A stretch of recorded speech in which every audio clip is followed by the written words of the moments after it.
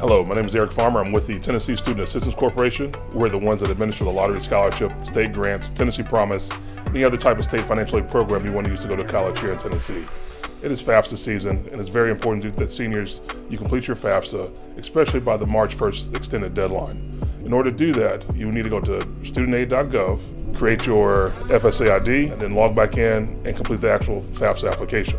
By you completing the FAFSA application, you're applying for Tennessee Promise, the Hope Scholarship, the Federal Pell Grant, the state grant, and other financial aid programs that you could use to further your higher education.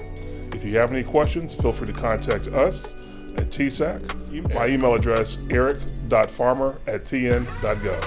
Thank you.